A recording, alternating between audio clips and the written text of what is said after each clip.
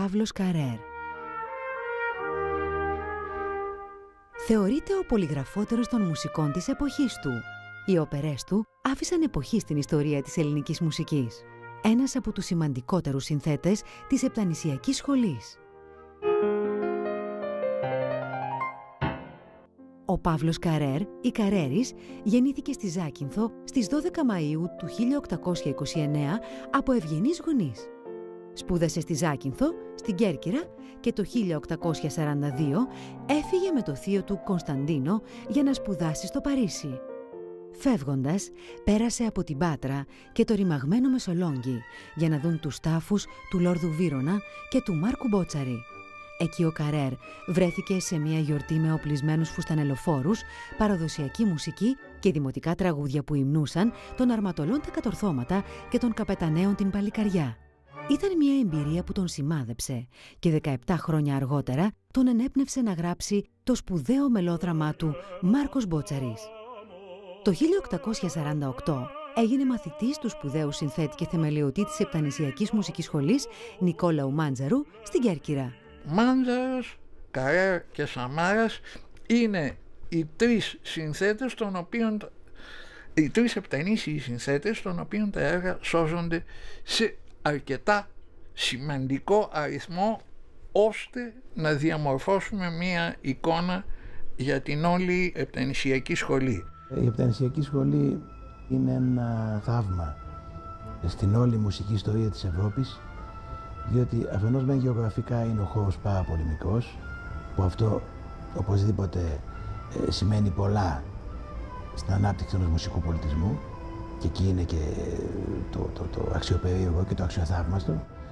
Και απ' την άλλη βεβαίως ε, ότι η Επτανησιακή σχολή ε, δημιουργείται, η μουσική μάλλον στην Επτάνησο έχει μια σχέση, ε, μια φυσική ροή θα έλεγα, ε, πράγμα που δεν συνέβη στην υπηρετική Ελλάδα, με το σπάσιμο αφενός μεν της ε, καταλήψεως ε, της Κωνσταντινούπολης και του Βυζαντίου από τους Οθωμανούς και μετά με την Ελληνική Επανάσταση. Δηλαδή αυτός όλος ο χώρος αποκόπηκε από την Ευρώπη για ένα μεγάλο χρονικό διάστημα.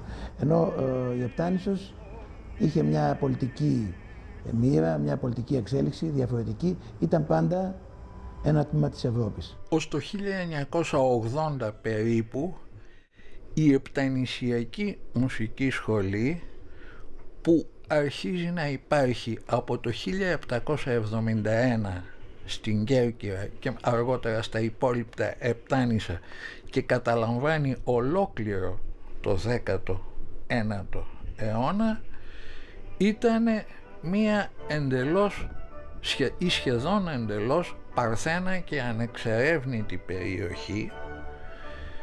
Ήταν μια μουσική παραγωνισμένη και κατασυκοφαντημένη ως Ιταλίζουσα. Το 1850 έφυγε για να σπουδάσει στο Μιλάνο. Ο Παύλος Καρέρ μετά τα 7 χρόνια που έμεινε στο Μιλάνο όπου ανεβάστηκαν τρεις όπερες του στο θέατρο Κάρκανο τη μία την ανακάλυψα εγώ, ήταν θεωρείται χαμένη ε, οι τρεις αυτές όπερες ήταν Δάντης και Βεατρίκη χαμένη ως σήμερα. Σώζεται μόνο το τυπωμένο λιμπρέτο της. Ε, η Ρεντιβίβα η Αναζήσασα και η Ιζαμπέλα Ντασπένο η, Ισαμπέ, η Ισαβέλα του Άσπεν.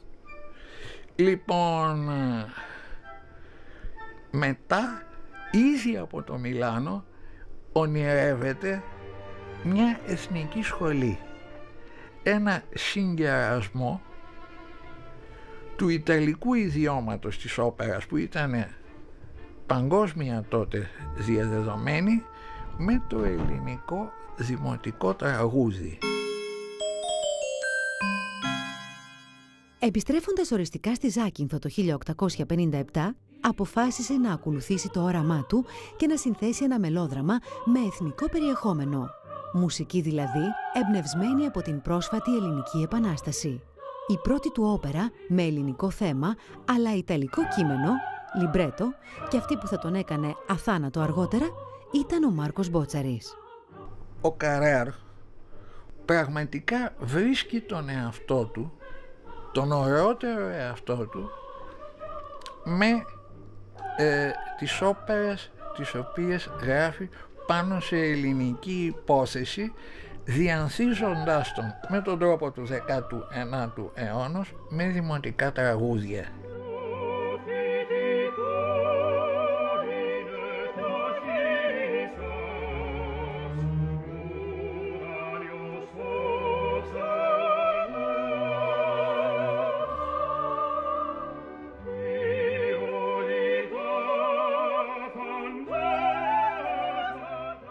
Οι όπερες που γράφει από ένα σημείο και πέρα εμπολείς έχουν ελληνική θεματική όπως ο Μάρκος Μπότσαρης η ε, Κυραφροσύνη η Δέσπο Ιωής του Σουλίου.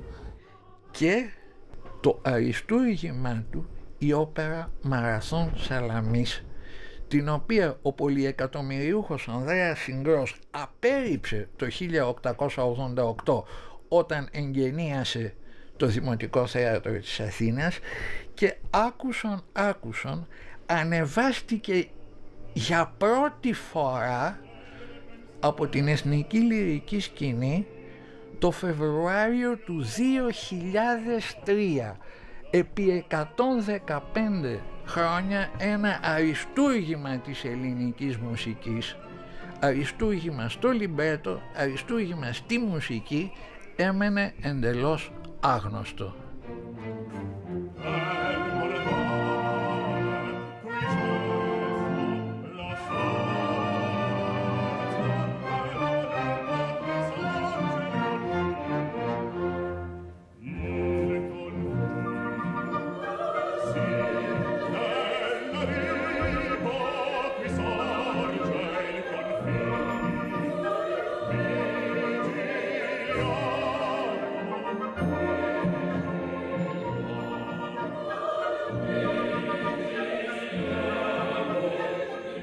Η επιλογή της Ιταλικής γλώσσας στα έργα του ήταν αναγκαία, εφόσον δεν υπήρχαν αρκετοί Έλληνες ερμηνευτές.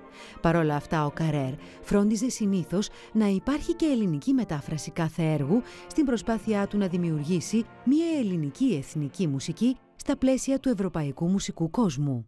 Τον Απρίλιο του 1858, οι βασιλείς Όθωνας και Αμαλία άκουσαν αποσπάσματα του Μάρκου Μπότσαρη και υποσχέθηκαν να ανεβάσουν την όπερα στην Αθήνα. Όμως ορισμένοι απόγονοι αγωνιστών του 21 επενέβησαν και ματέωσαν την παρουσίαση της όπερας γιατί για αυτούς θα σήμαινε προσβολή του Μπότσαρη σε βάρος των δικών τους ένδοξων προγόνων. Τελικά το έργο του παρουσιάστηκε επανειλημμένα σε όλες τις ελληνικές πόλεις που είχαν τότε θεατρικές αίθουσες Πάτρα, Ζάκυνθος, Σύρος, Αθήνα και για πολλές δεκαετίες ήταν η πιο δημοφιλής όπερα. Το 1859 συνέθεσε δύο από τα δημοφιλέστερα τραγούδια του, το «Έχετε για ψηλά βουνά» και το «Ξύπνα γλυκιά μου αγάπη», αλλά και τον περίφημο «Γεροδήμο», που είχε τεράστια δημοτικότητα και ο κόσμος μέχρι σήμερα το θεωρεί δημοτικό τραγούδι.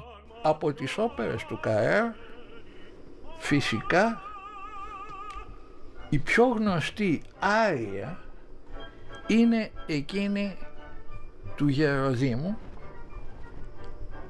από τον Μάρκο Μπότσερη που απόκτησε τόση δημοτικότητα ώστε πάρα πολλοί να νομίζουν ότι είναι δημοτικό τραγούδι. Όχι, είναι μια κανονική άρια σε τριμο, τριμερή μορφή. Αν μίλαγα για χαρακτηριστικά του έργου του Κάρερ θα έλεγα ότι η απλότητα, όχι όμως απλοϊκότητα, μια άμεση μελωδικότητα, δηλαδή μια μελωδική γλώσσα η οποία πιάνει τον ακροατή άμεσα η προσπάθεια που είπα πριν για μια ελληνοποίηση της μουσικής γλώσσας έτσι κατάφερε ο Καρέ να γράψει το μεγαλύτερο ελληνικό σουξέ του 19ου αιώνα που είναι ο Γεροδήμος. Πολλοί νομίζουν ότι είναι δημοτικό τραγούδι, δεν είναι δημοτικό τραγούδι, είναι έμπνευση του Καρέ.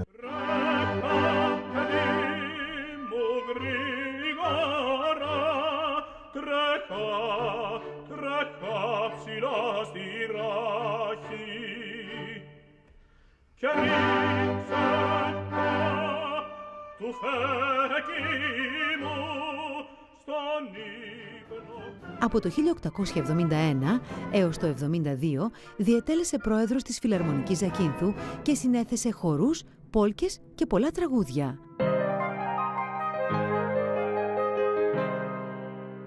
Ο Παύλος Καρέρ δημιούργησε πολλά έργα. Δυστυχώς όμως ένα μεγάλο μέρος τους χάθηκε στους σεισμούς των Ιωνίων το 1953. Αγωνίστηκε για να αναγνωριστεί η αξία της επτανησιακής μουσικής και να καταξιωθεί στη συνείδηση του κάθε Έλληνα. Η προσφορά του Παύλου Καρέρ στον νεοελληνικό μουσικό πολιτισμό είναι ανυπολόγιστης αξίας.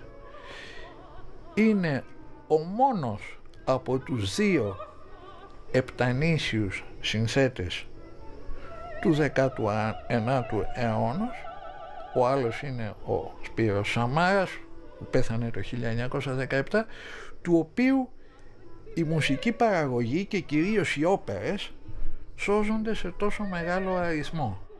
Από ό,τι γνωρίζουμε τελευταία τις όπερες αυτές είναι αξιολογότατες. Είναι, μπορεί να πει κανένας, ένας από τους ακρογωνιαίους λίθους μαζί με το Μάντζαρο της μουσικής μας ιστορίας. Ο Καρέ ως κατεξοχήν μελοδραματικός συνθέτης, δηλαδή συνθέτης ε, όπερας, ε, είχε μια πολύτιμη συμβολή όχι μόνο στη μουσική της Ελλάδας αλλά και στον ελληνικό γενικότερα πολιτισμό.